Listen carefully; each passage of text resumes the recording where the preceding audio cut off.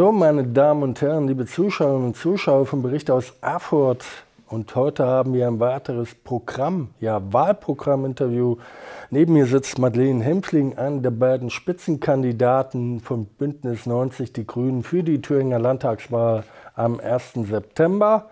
Und heute geht es natürlich dabei um die Programmatik, mit denen die Grünen, Bündnis 90 Die Grünen, überzeugen wollen.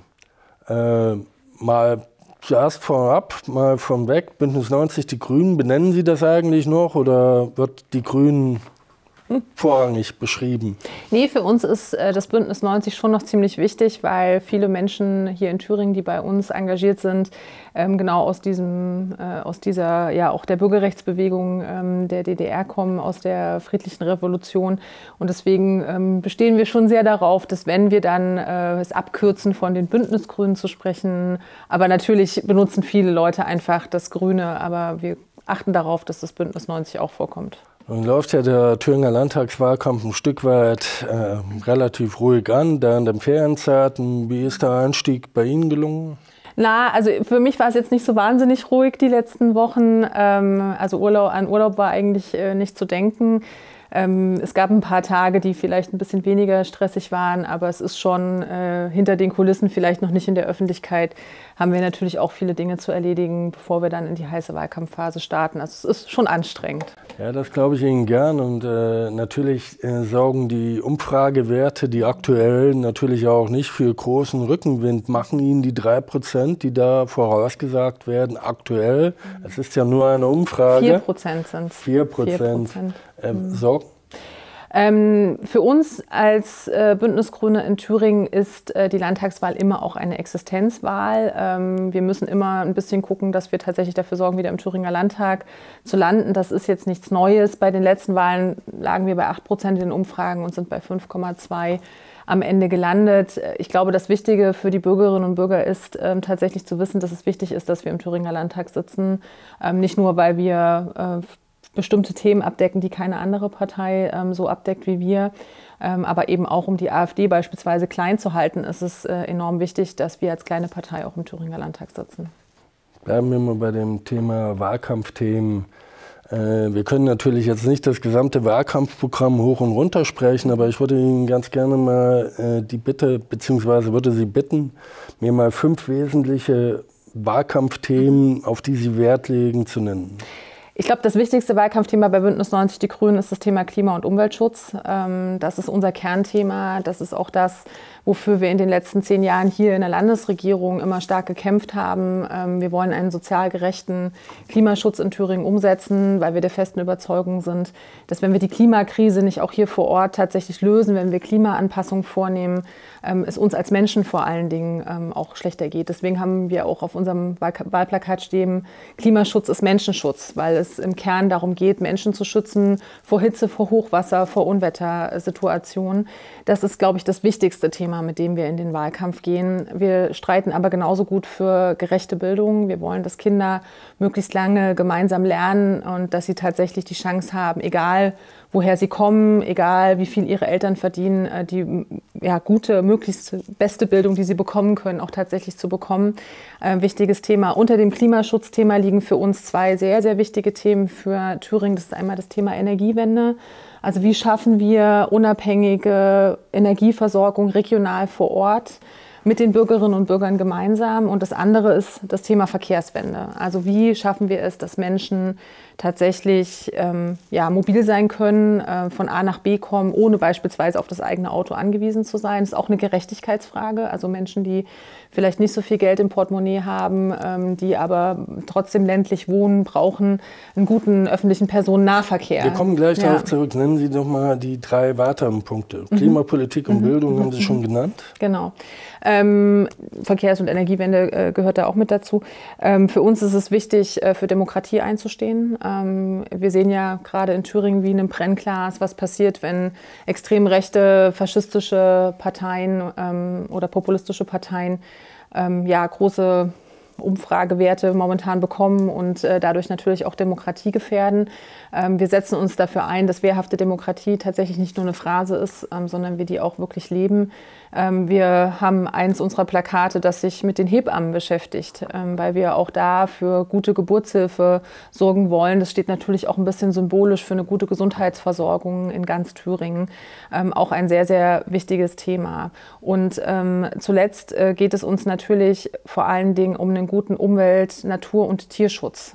Auch das Thema Tierschutz ist etwas, was wir als Bündnis 90 Die Grünen immer sehr wichtig finden. Da geht es natürlich einerseits um die Frage von sogenannten Nutztieren, also die Frage, wie viel Raum haben Tiere in äh, der Tierhaltung. Äh, aber es geht natürlich auch um die Frage von, äh, wie schützen wir andere Tiere, wildlebende Tiere, wie schützen wir aber auch Haustiere davor, ähm, beispielsweise ja, entsorgt zu werden, was wir ja ganz häufig erleben. Menschen schaffen sich ein Tier an und können dann nicht mehr dafür sorgen.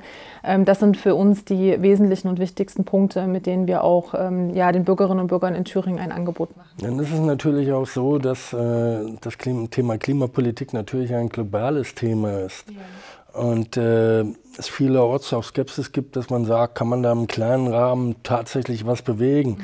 Die Grünen sagen natürlich äh, immer, ja genau da muss man anfangen. Was würden Sie denn in Thüringen ändern wollen, wenn Sie erfolgreich Politik machen können? in dem Bereich des Klimaschutzes? Im Bereich des Klimaschutzes. Sie haben es ja schon angesprochen, wenn immer alle sagen, das, da können wir ja gar nichts machen, dann geht halt niemand los und dann macht auch niemand was. Und es stimmt ja auch nicht, dass niemand was macht. Ne? Ähm, auch in anderen Ländern ähm, ist da viel in Bewegung. Ähm, wir glauben, dass Klimaschutz, ähm, so wie wir ihn uns vorstellen, also tatsächlich erneuerbare Energien, bürgernah, nur von unten geht. Ähm, nur wenn die Leute tatsächlich von unten auch mitmachen. Ähm, was ich möchte, ist, dass wir erneuerbare Energien zu 100 Prozent in Thüringen haben, die wir regional erzeugen, dass wir darüber eine Unabhängigkeit schaffen, sowohl was zum Beispiel die Unabhängigkeit von ausländischem Gas angeht, aber eben auch im demokratischen Sinne Unabhängigkeit schaffen von Autokraten. Wir sehen das ja gerade in der Diskussion um den Ukraine-Krieg mit Putin, ähm, wie viele, äh, wie viele Abhängigkeiten wir von ähm, schwierigen Diktatoren oder Autokraten haben. Ähm, und auch das ist für mich ein wichtiger Aspekt, dass wir in, den, in unserer Grundversorgung, ne, also der, der Grundversorgung mit Strom, mit Energie, unabhängig sind und dass uns niemand einfach so den Hahn abdrehen kann. Wie kann das passieren? Das kann passieren, indem wir die erneuerbaren Energien ausbauen. Wir sind da auch auf einem guten Weg. Wir haben bei den Solaranlagen beispielsweise dreimal mehr äh, in den letzten Jahren aufgestellt, als wir tatsächlich uns vorgenommen haben. Das ist sehr gut. Wir sind aber zum Beispiel bei der Windenergie noch nicht gut. Ähm, da sind wir jetzt, gab es jetzt wieder Genehmigungsverfahren, das läuft gut an. Äh, da merken wir aber, dass es da noch vor Ort viele Diskussionen gibt. Wir wollen die Leute gerne mitnehmen, deswegen haben wir das Windenergiebeteiligungsgesetz auf den Weg gebracht, wo wir die Kommunen vor Ort an den Windanlagen beteiligen und sie das für ihren Haushalt auch nutzen können, also davon zum Beispiel den Kinderspielplatz, das Schwimmbad etc. pp. bezahlen können. Und wir wollen, dass die Bürgerinnen und Bürger vor Ort noch viel stärker an diesen erneuerbaren Energien beteiligt werden, dass sie auch ähm, tatsächlich äh, vor Ort eine Wertschöpfungskette dadurch ähm, bekommen. Das ist unser Ziel und ich glaube, dann ist das auch äh, zu schaffen und natürlich müssen alle ein bisschen mitmachen. Ne? Jeder, der sich eine Solaranlage auf sein Dach macht oder der ein Balkonkraftwerk ähm, sich anbaut, äh, kann an der Energiewende äh, mittun und ähm, das ist ja das Gute eigentlich an dieser erneuerbaren Energie, ähm, dass jeder die Chance hat, äh, daran teilzuhaben, im Gegensatz übrigens zu Kohlekraft- oder Atomkraftwerken. Aber wie kann die Regierung das, wenn sie in der Regierung beteiligt wären, denn dann positiv beeinflussen? Naja, wir, haben, wir beeinflussen das ja schon positiv, beispielsweise durch das Windenergiebeteiligungsgesetz. Ähm, wir können die Genehmigung, äh, die Genehmigungsfragen einfacher machen. Das wird ja auch von Bundesebene teilweise jetzt schon äh, gemacht. Die Balkonkraftwerke beispielsweise ähm, ist viel einfacher geworden. Ähm, die Beteiligung vor Ort kann man äh, natürlich auch noch deutlich besser machen. Wir brauchen am Ende aber auch zusätzliches Geld. Das müssen wir natürlich auch sagen. Die, diese Transformationsfrage Energiewende äh, wird uns erstmal Geld kosten, ähm, wird aber auf lange Sicht dann dafür sorgen, dass wir eben eine stabile Stromversorgung, Energieversorgung haben, die dann auch äh, deutlich günstiger für die Menschen ähm, sein wird und vor allen Dingen sicherer sein wird. Wir stellen das Thema Geld mal ganz kurz zurück. Mhm. Darauf kommen ja. wir in anderer Hinsicht nochmal zu sprechen, weil bleiben mal bei Energie bzw. auch Verkehrswende. Das ist ja auch ein wesentlicher Punkt. Der ÖPNV ist ja regelmäßig im Gespräch. Ja, das Deutschlandticket hat sich als großer Erfolg herausgestellt. Aber die Frage bleibt natürlich, Sie haben es vorhin gesagt, eine Gerechtigkeitsfrage, denn auf dem Land erreichbar sind logischerweise viele Kommunen nicht regelmäßig. Ne? Und äh, es scheint auch schwer denkbar, dass das gelingen kann, denn alles ist ja auch mit finanziellem Aufwand verbunden. Wie wollen die Grünen hier Bewegung reinbringen? Wir schlagen ja den sogenannten Thüringen-Takt vor. Das heißt, ähm, wir schlagen vor, dass äh, jede Stunde man äh, in einer bestimmten Zeit, nämlich von 5.30 Uhr bis 22 Uhr, auch wegkommt. Ähm, dann zum Beispiel zum nächsten Knotenpunkt, zum nächsten Bahnhof. Ähm, das lehnt sich an, an auch den, äh, den Takt, den es auch schon in der Schweiz gibt. Und das ist jetzt schon nicht utopisch, sowas umzusetzen. Und ja, auch das wird natürlich zusätzliches Geld kosten. Und ich glaube, man muss sich so ein bisschen von der Vorstellung verabschieden. Wir reden ja nicht davon, dass überall so ein riesengroßer Bus immer fahren muss. Ne? Es wird natürlich Kommunen geben, ähm, in denen weniger Menschen leben, äh, wo vielleicht auch ein Kleinbus reicht oder in dem man ähm, beispielsweise auch mit Teilautostrukturen zum Beispiel zurechtkommt oder mit einem Bürgerbus. Ähm, wichtig ist sozusagen, dass es eine gute Anbindung an den restlichen ÖPNV gibt, damit man tatsächlich auch wirklich ähm, dann weiterkommt ähm, in eine größere Stadt äh, von seinem Dorf. Und ähm, ja, das wird Geld kosten, dafür müssen wir Investitionen vornehmen. Ähm, aber genau das ist ja die Gerechtigkeitsfrage, die dahinter steht. Ähm, die letzten Jahre haben wir ja auch viel Geld in die Hand genommen, um Straßen zu bauen. Wir haben ein gut ausgebautes Straßennetz in Thüringen. Und ich glaube, jetzt ist es wichtig, nicht nur aus Klimaschutzfragen heraus, sondern auch aus Gerechtigkeitsfragen heraus, dass wir eben die öffentliche Infrastruktur auch im Bahn- und Busbereich tatsächlich ausbauen. Dazu gehört aber auch, dass wir darüber sprechen müssen, ähm, wie die Strukturen vor Ort sind. Wir haben ganz viele kleine äh, Busunternehmen vor Ort. Ähm, das machen die Kreise teilweise noch selber. Das muss tatsächlich auch besser werden, besser miteinander verzahnt werden. Das Deutschland-Ticket ist ja finanziell ein großer Gewinn. Aber es ist vor allen Dingen auch, weil es so einfach ist, äh, ganz großartig, dass man sich eben nicht mehr Gedanken darüber machen muss, in welchem Tarif bin ich denn jetzt hier in XYZ unterwegs. Das ist ja auch ein ganz großer Komfort, den man damit hat. Also ich finde, das ist äh, für mich zum Beispiel total super. Ich kann halt einfach in Erfurt in die Bahn steigen äh, oder eben in Gotha, egal wo ich bin, und muss nicht darüber nachdenken, bin ich, habe ich jetzt den richtigen Tarif, habe ich das richtige Ticket gelöst? Und da müssen wir hinkommen, ähm, dass sozusagen äh, ÖPNV einfach funktioniert, dass Menschen sich eben nicht erst äh, einlesen müssen, damit sie das Tarifsystem verstehen. Und dann ähm, ist es eben wichtig, die anzubinden, die jetzt noch nicht angebunden sind, denen jetzt das Deutschlandticket vielleicht in dem Maße einfach noch nichts nützt. Aber auch hier haben Sie gesagt, natürlich müssen wir Investitionen in die Hand nehmen. Wir kommen darauf nochmal zurück. Auch hier wollen wir mal die Gelddiskussion ein bisschen zurückstellen und kommen zum Thema Bildung. Äh, nun ist die Leistungsbilanz, je nachdem, welche Partei sie aus den letzten Jahren herausnimmt, natürlich völlig unterschiedlich in den Beurteilungen. Ich muss, bevor wir über, über äh, das Thema für die Zukunft reden, auch nochmal fragen, wie der Blick zurück ausfällt auf die Ergebnisse der rot-rot-grünen Landesregierung äh, in dieser Hinsicht. Mhm. Sind Sie zufrieden?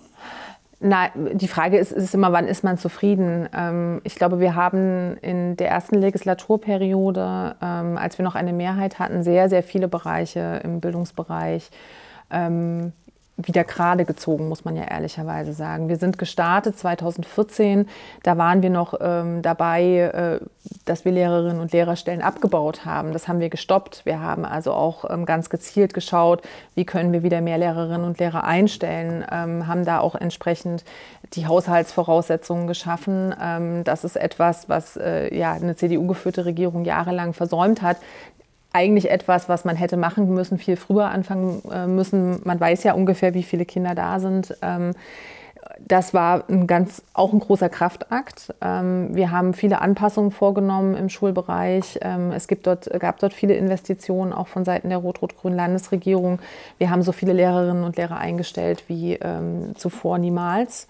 Von daher würde ich schon sagen, dass wir da sehr viel ähm, tatsächlich gemacht haben. Man muss natürlich auch sehen, dass ähm, bestimmte Dinge auch Zeit brauchen. Ähm, die Frage von die Lehrerinnen und Lehrer müssen ausgebildet werden. Ne? Nur weil ich jetzt beschließe, dass ich mehr Lehrerinnen und Lehrer einstelle, heißt das nicht, dass ich zwei Wochen später die auch da habe. Ähm, das sind natürlich auch Zeitläufe, die wir da berücksichtigen müssen. Da reden wir eben nicht von ein paar Monaten, sondern da reden wir von einigen Jahren. Ähm, das sind natürlich Sachen, die wir nur bedingt beeinflussen konnten. Aber wir haben jetzt auch mit den Quereinsteigerinnen beispielsweise viel gemacht. Und das Problem des Fachkräftemangels in, im pädagogischen Bereich ist ja kein Thüringer Phänomen, sondern es ist ein deutschlandweites Phänomen. Und da kann man jetzt sich sehr darüber aufregen. Ich glaube, wenn es Rot-Rot-Grün nicht gegeben hätte und wir da nicht gegengesteuert hätten, auch schon vor zehn Jahren, dann sehe es hier noch äh, viel finsterer aus ähm, äh, und wir hätten deutlich mehr Probleme, als wir jetzt tatsächlich auf dem Tisch liegen haben. Und es ist aber nach wie vor so, dass schon einige Probleme noch auf dem Tisch Klar, liegen. Klar, auf jeden Fall. Ja. Äh, was wollen Sie ändern, beziehungsweise mhm. noch optimieren, wie auch immer man mhm. es sieht?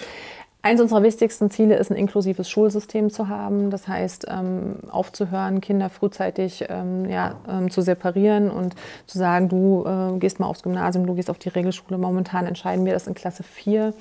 Das ergibt aus meiner Sicht auch pädagogisch keinen Sinn. Ähm, Kinder entwickeln sich unterschiedlich, ähm, unterschiedlich schnell und unterschiedlich stark.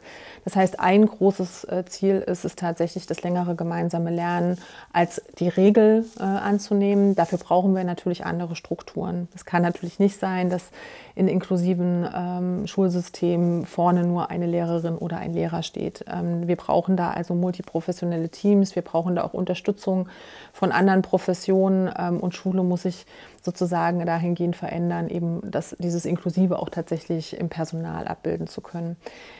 Ich würde mir auch wünschen, dass wir stärker darüber diskutieren, wie können wir denn, äh, es gibt ja immer große Aufreger, wenn es darum geht, die Schulen auch im ländlichen Raum zu erhalten.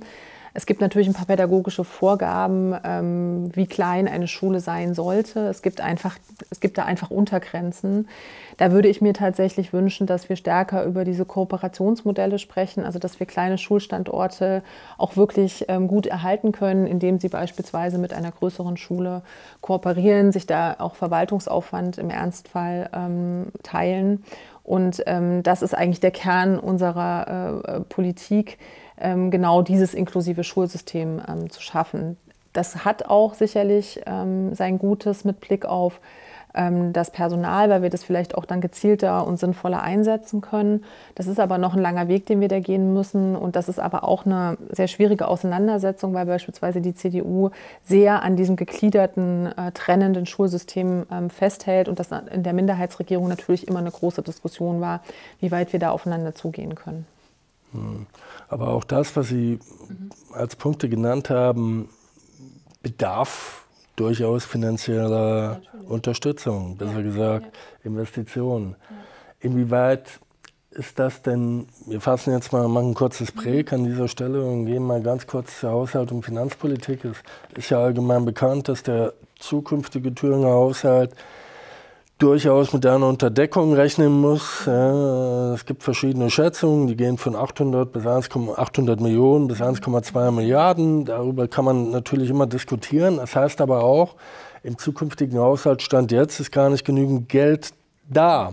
Äh, was heißt das für die Prioritäten beim Haushalt machen, wenn Sie sagen, man muss solche Sachen auch finanziell unterlegen? Naja, ähm, man muss halt ehrlicherweise sagen, dass äh, in den letzten Jahren vor Rot-Rot-Grün viele Investitionen einfach nicht gemacht worden sind. Ähm, und das staut sich natürlich. Wir haben einen massiven Investitionsstau, das merken auch die Kommunen. Ähm, den Kommunen geht es zwar finanziell ähm, deutlich besser als noch vor zehn Jahren. Äh, und wir haben auch sukzessive in Thüringen unter Rot-Rot-Grün mehr Geld an die Kommunen geleitet. Wir haben auch einige Dinge übernommen. Ähm, beispielsweise die Theater- und Orchesterfinanzierung wird äh, zu großen Teilen mittlerweile vom Land gestemmt. Nichtsdestotrotz ähm, fehlen den Kommunen sozusagen die großen Brocken an Geld, um eben in diese großen Veränderungsprozesse ähm, zu investieren. Über kurz oder lang werden wir über eine Diskussion über das Thema Schulden und Schuldenbremse nicht drum kommen. Wobei ich das Wort schon schwierig finde, weil es geht ja nicht darum, irgendwie fröhlich Schulden zu machen, ähm, um in den Urlaub zu fahren, sondern es geht ja darum, ähm, die Infrastruktur zu ertüchtigen und darauf vorzubereiten, ähm, dass sie sich tatsächlich auch so verändern kann, wie sich das die Bürgerinnen und Bürger in Thüringen wünschen. Das heißt, es ist eigentlich momentan eine Investitionsbremse, die wir an dieser Stelle haben. Äh, und wenn wir da weiterkommen wollen mit diesen Veränderungsprozessen, müssen wir tatsächlich ähm, die Schuldenbremse oder wie ich gerne sage, Investitionsbremse ähm, bearbeiten. Es ist auch nicht mehr zeitgemäß. Und im Prinzip sind sich auch eigentlich alle einig, dass so wie, die, wie das jetzt aufgestellt ist, ähm, wir damit nicht wirklich gut arbeiten können. Das wird äh, ein Kern auch der Auseinandersetzung sein, beispielsweise bei Koalitionsbildung nach dem 1. September. Wie positioniert man sich finanzpolitisch, haushaltspolitisch an dieser Stelle? Und welche Investitionen ähm, will man eben auch beispielsweise über die Aufnahme von Krediten finanzieren, weil wir werden da nicht drum rumkommen.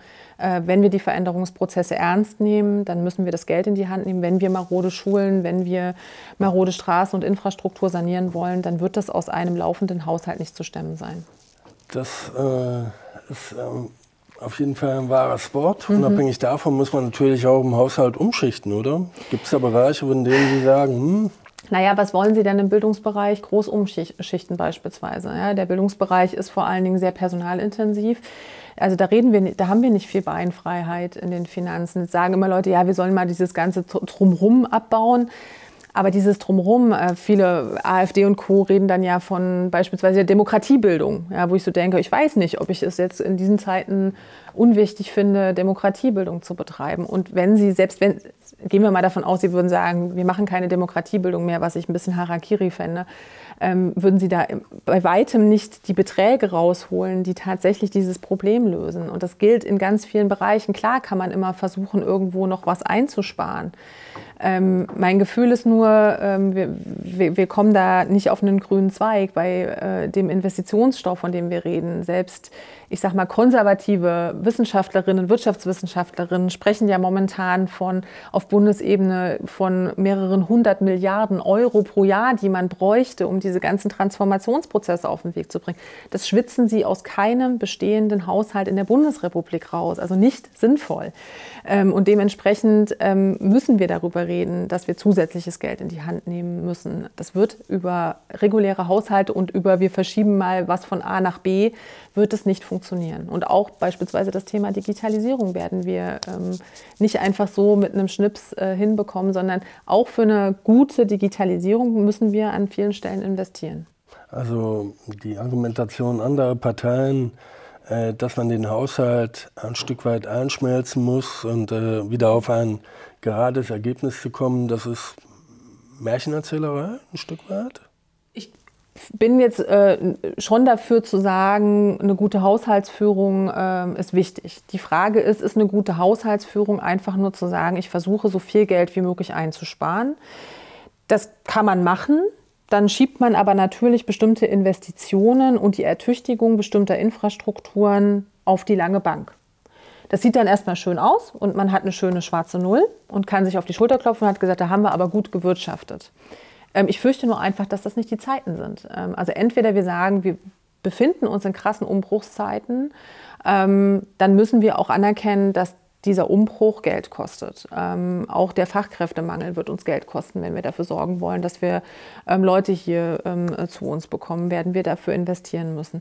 Ähm, und ich glaube tatsächlich, dass es nicht gerecht ist, ähm, nachfolgenden Generationen ähm, eine Infrastruktur zu hinterlassen, äh, die sie vor noch viel größere Herausforderungen stellt. Es würde ja wahrscheinlich, ne, wenn ich jetzt sage, ich habe irgendwie ein Häuschen äh, und ich will das mal meinen Kindern überlassen, kenne ich wenige, die dann einfach sagen, ja, ich, ich rock das runter äh, und dann können die, ne, seht mal zu, wie er klarkommt, sondern da versucht man das ja auch zu erhalten, damit die Kinder am Ende auch noch was davon haben. Und ich finde, genau so eine Verantwortung haben wir als Politikerin. Wir sind nicht nur für uns verantwortlich, für unsere Generation, sondern wir sind auch für unsere Kinder und Kindeskinder verantwortlich und können nicht einfach unsere Probleme denen äh, rübergeben und sagen, ja, wir haben schöne schwarze Nullen geschrieben, wir haben äh, gute Haushaltsführung gemacht, äh, viel Spaß bei der Verrichtung. Also das äh, finde ich ist nicht mein Ansatz von generationengerechter Politik am Ende. Ein weiteres Thema, was Sie benannt haben, war wehrhafte Demokratie. Mhm. Wie, was muss man sich darunter vorstellen? Mhm. Naja, unsere Demokratie ist eine wehrhafte Demokratie. Das heißt also, wir haben bestimmte Mechanismen ähm, in unserem Grundgesetz, in unseren, äh, in unseren rechtlichen Regelungen, die ähm, Demokratie vor ihren Feinden schützt, auch aus dem Inneren heraus. Dazu gehört in der Ultima Ratio beispielsweise Parteienverbot oder Vereinsverbote. Ähm, dazu gehört es aber eben auch, dass ähm, bestimmte Strukturen darauf vorbereitet sind, dass dass ähm, Feindinnen und Feinde der Demokratie versuchen, bestimmte Strukturen zu zerstören. Mir geht es da vor allen Dingen ähm, auch viel um die Frage von dienstrechtlichen ähm, Geschichten. Also wie ist, geht man eigentlich mit extrem rechten Beamtinnen um? Ähm, wie kriegt man die im Ernstfall auch aus dem Dienst? Weil es ist ja äh, verrückt, wenn Menschen, die ähm, eigentlich gegen den Staat arbeiten, selber irgendwie vom Staat bezahlt werden. Ähm, und es gibt natürlich auch andere Mechanismen, die wir sehr viel diskutiert haben, nämlich zum Beispiel die Wahl eines Landtagspräsidenten, einer Landtagspräsidenten oder die Besetzung der Parlamentarischen Kontrollkommission des Verfassungsschutzes. Ähm, und dann geht es natürlich weiter bis hin in die Frage, wie sind unsere Sicherheitsbehörden aufgestellt, um gegen extrem rechte, rechtsterroristische Netzwerke vorzugehen und dafür zu sorgen, dass die unsere Demokratie nicht zerstören können. Ähm, also es gibt da unterschiedliche Maßnahmen auf unterschiedlichen Ebenen, die mehr oder weniger gut funktionieren. Ne? Die Kommunalaufsicht zum Beispiel gehört auch dazu, ähm, wenn es darum geht, einen extrem rechten Landrat zum Beispiel zu kontrollieren. Ja, bleiben wir mal bei dem Thema. Wenn Sie sagen rechtsextrem, dann spielen Sie ja auch ein Stück weit auf die AfD an. Ja, dann meine ich die sogar sehr konkret. ja, genau. Ja. Äh, sind denn äh, Staatsangestellte, die Mitglied der AfD sind, automatisch feindlich dem Staat gegenübergestellt? Kann bei, man das so pauschalisieren? Bei einer Partei, die als äh, gesichert rechtsextrem eingestuft ist, ähm, würde ich schon sagen, ja. Ähm, das sind ja Menschen, die sich bewusst entscheiden, in einer Partei zu sein, der äh, Björn Höcke vorsteht, der jetzt verurteilt wurde, weil er SA-Parolen benutzt, ähm, der regelmäßig sich rassistisch äußert, der beispielsweise ja auch gesagt hat, wir können in Deutschland gerne auf 20 bis 30 Prozent der Bevölkerung verzichten, der von äh, Grausamkeiten spricht bei der Frage von, auf wen können wir verzichten ähm, und immer wieder sich aus meiner Sicht ähm, rassistisch, aber auch tatsächlich faschistisch äußert. Ähm, das ist ein völkischer Nationalist ähm, und der ähm, hat eine klare Agenda. Und die Menschen, die sich in Thüringen entscheiden, in die AfD einzutreten, höre ich zumindest selten, dass sie dieser Agenda widersprechen. Es gibt ja ein bisschen Stress innerhalb der AfD, aber ob das mit den Inhalten zu tun hat, habe ich mal so meine Fragezeichen. Er scheint ja auch sehr autoritär durchzuregieren. Das widerspricht aus meiner Sicht auch dem Ansinnen einer demokratischen Partei, äh, wenn sozusagen von oben alles bestimmt wird. Parteien sind demokratische Institutionen. Ähm, mit, äh, klar gibt es dann natürlich auch gewisse Hierarchien, aber ähm, trotzdem gilt, wenn vor Ort äh, eine Einheit einer Partei, also ein Kreisverband, ein Ortsverband, eine Wahl getroffen hat, ähm, dann hat es auch ein Landesvorsitzender zu respektieren.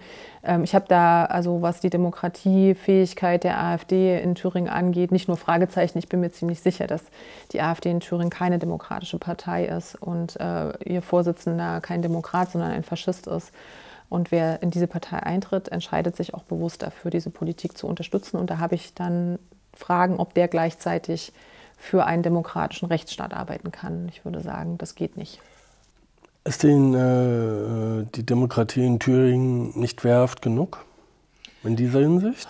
Ich glaube, dass ähm, wir natürlich Praxisprobleme haben. Es gibt Dinge, die waren in den letzten Jahrzehnten kein Thema. Ne? Also die Frage von, was machen wir eigentlich, wenn eine faschistische Partei so groß wird wie die AfD?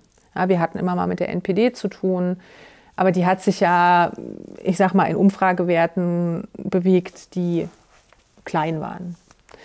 Ähm, und auch das Grundgesetz hat auf diese große Bedrohung an der einen oder anderen Stelle nur unzureichende praxisbezogene Antworten. Ähm, ne, also die, die NPD ist ja nicht verboten worden, weil sie nicht äh, rechts genug war oder extrem rechts genug war, sondern weil sie zu klein war.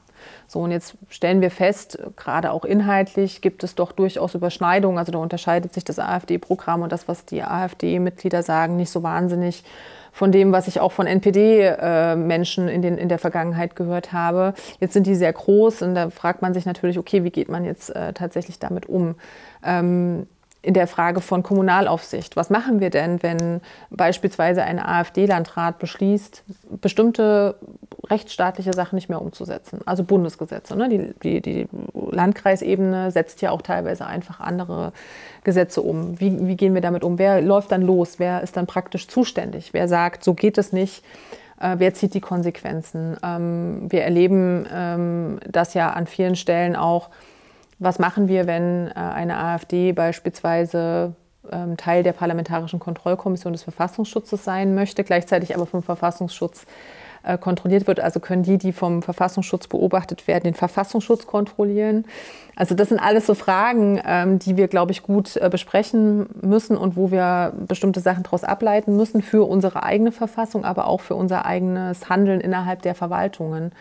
Ähm, das, der Verfassungsblock hat ja da auch ein Projekt gestartet und hat auch sehr konkret gesagt, an den und den Stellen müsst ihr nachsteuern, wenn ihr sozusagen Demokratie ähm, wehrhafter und fester machen wollt gegen diejenigen, die ähm, bestimmte Sachen abschaffen wollen. Und zuletzt hat ja beispielsweise Höcke ähm, oder, oder auch die AfD damit gedroht, die Justiz ähm, sozusagen anzugreifen. Und das wissen wir aus anderen Ländern, wo extrem rechte Parteien an der Macht waren. Äh, die Justiz ist eins der ersten, Medien und Justiz sind eins der ersten Dinge, die sie angreifen und die sie aushöhlen. Und äh, auch da müssen wir gucken, ähm, ist das alles sicher genug? die ist die Unabhängigkeit der Justiz soweit äh, abgesichert, dass wir in der Lage sind, das auch zu verteidigen. Und da gibt es Dinge, wo wir nachbessern müssen, definitiv. Ein weiterer Punkt, äh, den Sie genannt haben, ist Tierwohl. Mhm. Das Tierwohl nicht nur im industriellen Bereich oder mhm. im Bereich der Produktion mhm. von Erzeugnissen, sondern auch im, im, privaten Bereich. Was kann, was will äh, Bündnis 90 Die Grünen da mhm eventuell ändern? Mhm. Also im privaten Bereich reden wir ja äh, vor allen Dingen auch von dem, dem Schutz von Haustieren. Ähm, ich glaube, wir haben, äh, wir sehen das ja überall vor Ort. Die Tierheime sind voll. Ähm, ne, das wird teilweise ehrenamtlich organisiert. Also wir möchten auch da mehr ähm, Verantwortung übernehmen als Land. Wir haben da in der Vergangenheit auch geguckt, ähm, dass die Tierheime mehr Unterstützung bekommen. Ähm, aber ich glaube, da braucht es tatsächlich ähm, noch einen größeren Aufwand, um die Tierheime vor Ort tatsächlich auch auf gute Füße zu stellen. Die ehrenamtlichen Mitglieder dort leisten da wirklich äh, eine krasse Arbeit, aber die meisten Tierheime leben ja auch sehr überwiegend auch von Spenden. Ähm, das ist gut, aber das ähm, hilft, glaube ich, äh, an der einen oder anderen Stelle dann auch nichts mehr, wenn die Leute ausgebrannt sind. Also da braucht es mehr Unterstützung. Wir brauchen mehr Aufklärung. Was heißt es eigentlich, äh, ein Haustier sich anzuschaffen? Ne? Wir hatten während Corona viele Leute, die sich Haustiere angeschafft haben und dann haben sie festgestellt, nach Corona, sie haben gar keine Zeit dafür. Ähm, ich bin eine große Freundin davon, stärker darüber zu reden, dass Menschen auch befähigt werden müssen, ein Haustier zu haben, ähm, beispielsweise bei der Hundehaltung. Aber das gilt auch für die Katzenhaltung. Ähm, ich erlebe das immer, wenn ich mit Tierärztinnen und Tierärzten im Gespräch bin, was Leute für komische Dinge mit ihren Tieren tun. Ähm, und das ist natürlich auch Teil des Tierschutzes, dass Menschen äh, wissen, wie Tiere auch ähm, tatsächlich zu pflegen und zu hegen sind und dass das auch Geld kostet. Ich glaube, viele Menschen wissen auch nicht, wie viel ähm, Geld es kostet, ein Haustier zu halten. Also wir brauchen da auch mehr Aufklärung. Ähm, und äh, müssen tatsächlich auch dafür sorgen, dass beispielsweise Katzen, ne, wir haben die Katzenkastrationsverordnung in, äh, in Thüringen, ein schwieriges Wort, dass aber zum Beispiel wildlebende Hauskatzen beispielsweise sich nicht unkontrolliert weiter vermehren können und wir noch mehr, mehr Tierleid dadurch ähm, erzeugen. Aber zum Beispiel die Taubenhilfe hier in den Städten ist auch ein ganz wichtiger Aspekt von Tierschutz. Ähm, dass es Menschen gibt, die sich hier auch teilweise ehrenamtlich um diese Tauben kümmern, verletzte Tauben aufsammeln, dafür sorgen, dass auch da die Vermehrung ähm, ein bisschen eingedämmt wird, ähm, auch gegen Vorurteile arbeiten. Ne? Tauben werden ja immer als die Ratten der Lüfte bezeichnet, was ja so auch gar nicht stimmt. Ähm, und äh, dementsprechend hat das sehr, sehr viele Aspekte bis hin zum Wildtierschutz. Ne? Die Wildkatzen, die wir, ähm, denen wir wieder Korridore geschaffen haben, damit sie zusammenhängend äh, leben können. Ähm, der Luchs, äh, der teilweise wieder in Thüringen ja hier und da gesichtet wird, aber auch der Wolf gehört natürlich dazu. Und dann auf der anderen Seite der Schutz der Nutztiere mit der sogenannten Schaf-Ziegen-Prämie. Also da ist viel passiert, da ist aber noch viel Luft nach oben. Tierschutz ist sehr, sehr breit und ähm, ist nicht nur an äh, der Frage von ähm, ja, der industriellen Haltung oder der, der Nutztiere ähm, festzumachen. Was sollte man denn ändern? Was, wo kann man optimieren? Jetzt bei den Nutztieren oder äh, generell? Ja. In beiden Bereichen? Naja, ich glaube tatsächlich, der Wildtierschutz äh, hängt natürlich sehr stark daran, dass wir äh, den Tieren den Platz lassen. Ähm, wir sind ja als Menschen auch maßgeblich mit dafür verantwortlich, dass wir bei der Biodiversität, zu der ja äh, Tierarten auch gehören, von Insekten bis hin zu Säugetieren, ähm, eine massive Dezimierung der Bestände haben. Das heißt, wir müssen also noch stärker dafür sorgen, dass es auch unberührte Bereiche in der Natur gibt, wo Tiere überhaupt die Chance haben, in Ruhe ähm, ja, Tiere sein zu können. Ähm, das gilt ähm, sowohl für ähm, die Frage von Renaturierung, also wo können wir tatsächlich auch dafür sorgen, dass Tiere wieder mehr Platz bekommen. Wir müssen uns natürlich auch die Frage stellen, wie weit dringen wir in die Natur weiter vor. Ähm, und äh, das, das sind natürlich sehr große Räder, die wir da drehen müssen. Aber ich finde gerade die Wildkatze zeigt ja sehr gut, dass es möglich ist, ne? zusammenhängende ähm, äh, Lebensräume für bestimmte Tierarten wieder zu schaffen.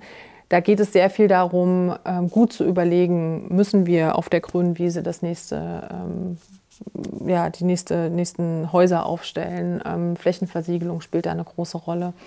Bei den Nutztieren ähm, geht es aus meiner Sicht natürlich auch um die Frage, wie viel Fleisch konsumieren wir, ähm, wie viele Milchprodukte äh, konsumieren wir und können wir diese ähm, Tierhaltung anders gestalten. Da gibt es ja auch immer wieder Initiativen dazu. Da hat sich auch viel verändert und verbessert. Nichtsdestotrotz haben wir an vielen Stellen noch eine Massentierhaltung, ähm, von der wir als Grüne gerne wegkommen würden, aber gemeinsam mit den Bäuerinnen und Bauern. Das ist das Wichtige. Ähm, Bäuerinnen und Bauern müssen von ihrer Arbeit leben können und gleichzeitig müssen wir es schaffen, ähm, an diesen Stellen den Tierschutz, äh, den Raum für die Tiere, die Art der Haltung zu verändern.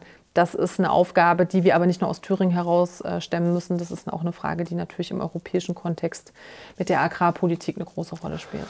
Dann sind nicht alle Themen, die Sie jetzt angesprochen haben, die, für die die Grünen natürlich stehen, auch werben, Mainstream-Themen. Wie wollen Sie denn die Wähler überzeugen? Ich meine, was, was bringt Sie zu den Optimismus, dass das Themen sind, bei denen Sie sagen, das trifft auch unsere Kanzelgruppe, die wir einfach erreichen müssen? Ich glaube, unsere Wählerinnen und Wähler sind äh, diejenigen, die ähm, sehr gut wissen, auf welchen, welche Lebensgrundlagen wir brauchen als Menschen. Das bei allem, was ich sage, geht es mir natürlich darum, dass es äh, Tieren gut geht und mir geht es natürlich darum, ähm, dass wir eine intakte Umwelt haben. Aber warum machen wir das? Ähm, wir machen das, damit wir Menschen äh, gut leben können. Das ist ja das, worum es am Ende ähm, maßgeblich geht. Die Natur braucht uns im Ernstfall nicht. Ne? Wenn wir nicht mehr da sind als Menschen, dann kommt die Natur auch ohne uns klar. Wir brauchen die Natur, wir brauchen eine saubere Umwelt, wir brauchen sozusagen Temperaturen, bei denen wir noch das Haus verlassen können, ohne dass wir sozusagen einen Hitzeschlag bekommen. Ähm, und wir schützen uns natürlich mit Klimaschutz auch vor Hochwasserereignissen oder Dürre. Ähm, das heißt, bei allem, was ich sage, geht es mir darum, dass wir Menschen ein gutes Leben haben, dass möglichst alle Menschen ein gutes Leben haben können. Und ähm, wir erleben ja, dass gerade die Belastung durch die Klimakrise, das trifft ja nicht die, die ein gutes Auskommen haben, die äh, reichen Menschen, sondern es trifft natürlich auch im besonderen Maße Menschen ähm, mit wenig Einkommen. Und wir haben in Thüringen ähm, viele Menschen, die eben nicht so ein hohes Einkommen haben. Und mein Ziel ist es, dass wir auch mit der Bekämpfung der Klimakrise, mit dem Schutz unserer natürlichen Lebensgrundlagen ähm, für Menschen ein gutes Leben organisieren. Das ist der Kern unserer Politik. Und ich finde, das verstehen, glaube ich, die meisten Menschen ziemlich gut. Dann sind äh, Thüringen in den vergangenen Jahren durch Unklarheit, unklare Mehrheitsverhältnisse immer gekennzeichnet gewesen. Das Ergebnis war eine Minderheitsregierung. Ja. Und äh, auch die neuen Umfragen zeigen, ob mit Grünen im Landtag oder ohne, nicht falsch verstehen, mhm. dass äh, es schwer wird, zu neuen Mehrheiten zu kommen. Mhm. Äh, was immer die Frage gibt, welche Koalitionen wären eventuell möglich? Was schließen denn die Grünen aus? Zum Beispiel in einer Koalition, der Bündnis Sarah Wagenknecht mhm. dabei wäre, wären die Grünen da prinzipiell äh, schon dabei zu sagen, no, das ist nicht unser Weg? Oder was sagen Sie vor den Wahlen oder sagen Sie, das entscheiden wir nach den Wahlen? Wie mhm. sieht es da aus? Also ich habe das schon vor einem Jahr relativ deutlich gesagt. Ähm, Thüringen ist äh, eines der schwierigen Bundesländer, insbesondere bei der Koalitionsbildung. Und deswegen mache ich keine Ausschließeritis, ähm, wie das beispielsweise die FDP macht, sondern ich sage, ich rede mit allen Demokratinnen und Demokraten. Was ich ausschließe, ist, mit einer extrem rechten Partei wie der AfD in irgendeiner Art und Weise zusammenzuarbeiten. Das ist klar, das ist aber jetzt auch nicht überraschend. Diese Position vertreten wir schon seit vielen Jahren. Das Bündnis Sarah Wagenknecht ähm, muss aus meiner Sicht erstmal noch beweisen, ähm, wo sie eigentlich genau stehen. Ähm, ich kenne Katja Wolf seit vielen Jahren als Spitzenkandidatin ich komme mit ihr äh, gut zurecht. Ich frage mich nur manchmal, ähm, ist sie eigentlich wirklich die Spitzenkandidatin des Bündnisses Sarah Wagenknecht in Thüringen oder ist das eigentlich Sarah Wagenknecht selber?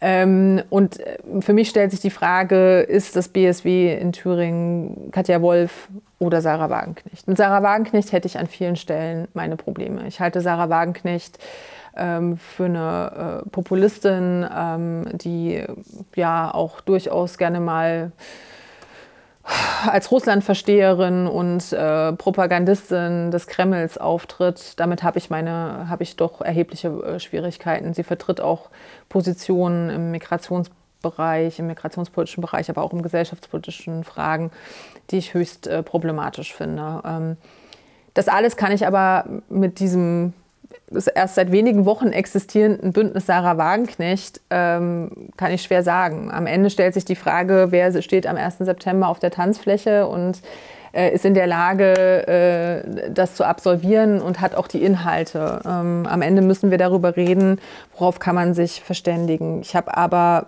mit BSW insofern meine Probleme, dass ich nicht glaube, dass so eine sehr neue gegründete Partei, die kein Grundsatzprogramm hat so richtig. Ich habe das Wahlprogramm gelesen und denke mir so, was wollt ihr denn da jetzt? Immer wenn Sie nicht weiter wissen, wollen Sie eine Expertenkommission gründen. Also da hat man am Ende dann 20 Expertenkommissionen. Und ähm, da stellt sich halt für mich die Frage, sind die überhaupt regierungsfähig? Ja, also sind die in der Lage, ähm, auch in einer Mehrheitsregierung für eine stabile Regierung ähm, tatsächlich die Verantwortung zu übernehmen? Und das sehe ich momentan nicht. Ja, die haben da tausend Mitgliedsanträge offen. Da hat eine Handvoll Menschen über eine Landesliste entschieden. Alles sehr, sehr fragil aus meiner Perspektive. Deswegen ist es eben sehr wichtig, dass äh, Parteien wie wir, Bündnis 90, die Grünen im Thüringer Landtag sitzen, um im Ernstfall eben genau auch das Zünglein an der Waage für eine, für eine Mehrheitsregierungsbildung zu sein. Ähm, aber es gibt rote Linien. Ähm, es gibt rote Linien für mich im Bildungsbereich. Wer das inklusive Schulsystem in Frage stellt oder da sozusagen Sachen zurückdrehen will, da wird es schwer. Wer ähm, keine zielgerichtete Migrationspolitik, die eben keine Abschottungspolitik ist, ähm, umsetzen will, da wird es schwer. Ähm, bei Fragen von, drehen wir die, die, Fragen des Klimaschutzes zurück, das wird schwer für mich, ähm, da tatsächlich Ja zu sagen. Deswegen mache ich das an inhaltlichen Fragen fest ähm, und hoffe einfach, dass alle die Zeichen der Zeit erkannt haben ähm, und wir am 2. September dann zu sinnvollen inhaltlichen Gesprächen kommen können. Zwei Fragen haben wir noch. Nämlich die mhm. eine Frage ist, äh, was glauben Sie, wie groß ist der Einfluss von Spitzenkandidaten auf einen Wahlkampf? Ach, das kommt, glaube ich, immer so ein bisschen drauf an. Ähm, natürlich kann man mit äh, Personen, äh, es, es, wird ja immer personalisierter in den letzten Jahren, was die Wahlkämpfe angeht. Wir sehen das in den USA, da ist das ganz massiv so und das schwappt natürlich auch zu uns rüber und äh, Parteien haben immer das Gefühl, sie müssen jetzt noch mehr auf ihre Kandidatinnen und Kandidaten zuspitzen. Ähm, natürlich kann das vertrauensbildend sein, wenn man Personen dort stehen hat, wo die Leute auch sagen, ach ja, okay, damit kann ich mich identifizieren. Ne? Ähm, also vielleicht können sich Leute damit mit mir als Frau also auch identifizieren oder als Ostdeutsche. Ich bin in Thüringen geboren und aufgewachsen.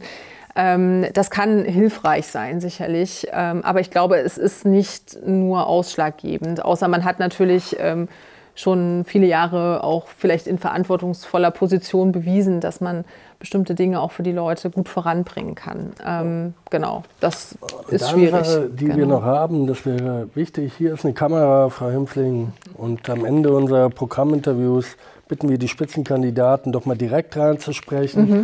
zum Zuschauer und Wähler, zu den Zuschauern und Wählern. Und äh, Ihr Ding, machen Sie es. Bitteschön.